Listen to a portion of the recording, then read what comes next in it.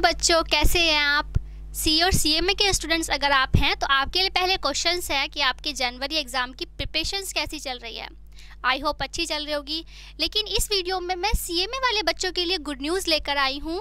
जैसे कि आप देख रहे हैं मैंने आ, स्क्रीन पे लगाया है पप्पन सर का ट्वीट स्क्रीनशॉट इस ट्वीट में पप्पन सर ने बोला है कि सी एम ए वाले स्टूडेंट्स के लिए ऑप्शन विंडो रीओपन हो गई है। जैसे कि मैंने लास्ट वीडियो में बताया था कि इंस्टीट्यूट ने आईसीएमआई ने बच्चों के लिए तीन ऑप्शंस रखे हैं। या तो सेंटर बेस्ड ऑनलाइन एग्ज़ाम या होम बेस्ड ऑनलाइन एग्ज़ाम या ऑप्ट आउट फ्रॉम एग्ज़ाम्स अगर आपने मेरी लास्ट वाली वीडियो नहीं देखी है तो आई बटन पे वो वीडियो मिल जाएगी आपको, आप बाद में देख लीजिएगा।